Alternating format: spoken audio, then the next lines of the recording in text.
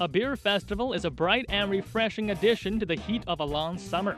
Barring its bitter taste, beer is one of the best ways to cool down and revel with friends. And as if that doesn't already make it appealing enough, according to the beer master at the first Beijing Beer Geeks Festival, the taste and even the color of your beer can be easily modified to your liking. Well, that's because the beer at the festival is home brewed. Homebrewing is a practice which originated in Europe and North America in the early 1980s. Now, although this bandwagon has dominated the beer market in Western countries, it has just begun to take off in China in recent years.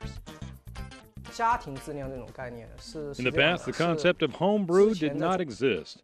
I remember clearly at the period from the end of 2010 to the beginning of 2011, I wanted to brew beer at home.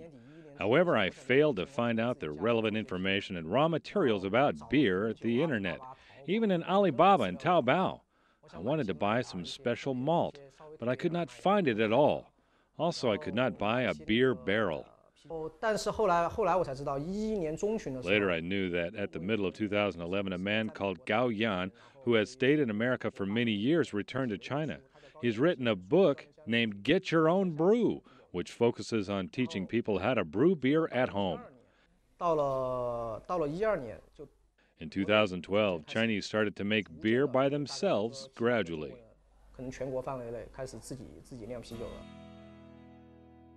As an influential beer drinking country, China boasts an extremely large group of consumers, but in the beer maker market, some public brands represent 80 to 90% of the market.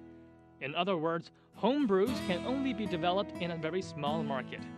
The Chinese government has also not developed scrupulous rules with regards to home brews. The biggest barrier to expansion of home brews in China is the public's very traditional and rooted ideas about beer.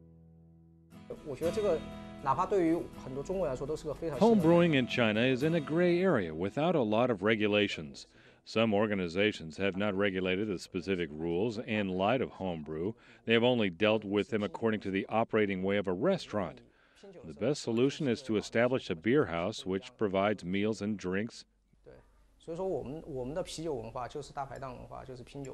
In China, the public awareness towards beer stays at the sidewalk.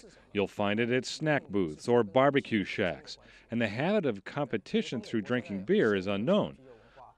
Unlike the American and European countries, beer is a part of their lifestyles.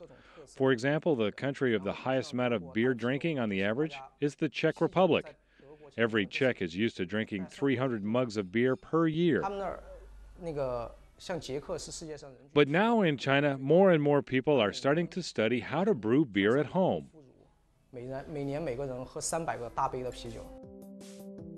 Although homebrewing may be developing slowly in China, there are a number of beer experts like Mr. Yin.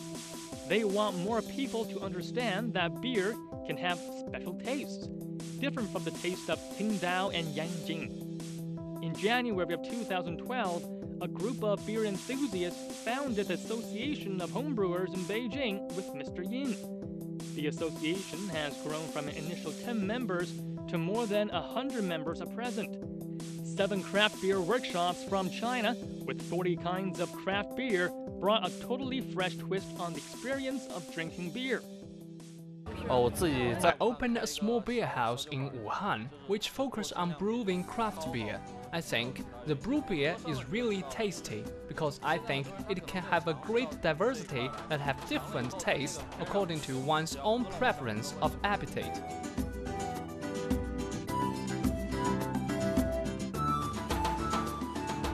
Yeah, I like craft beer. I've been a big fan of craft beer um, in the United States, and I certainly like craft beer in China as well. It's not quite as refined, I guess I would say, as in the United States, but uh, the, the, one of the other differences is, is that there's a tremendous amount of enthusiasm here. I mean, if you look around at the, particularly the Chinese guys that are doing this, um, they, they really are very, very enthused. Even more enthused, I would say, than my friends in the United States that are into beer.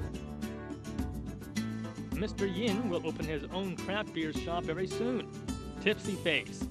Now, there are already around 20 to 30 different kinds of beer shops in the country. Mr. Yin still has great confidence in their future promotion and development.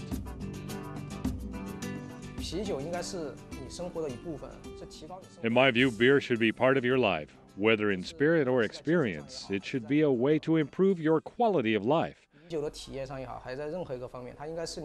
I have lots of friends. When I introduce craft beers to them, they find it good immediately. It's because when you introduce something with the abundant taste and strong multi layers of them, their perspectives will be changed.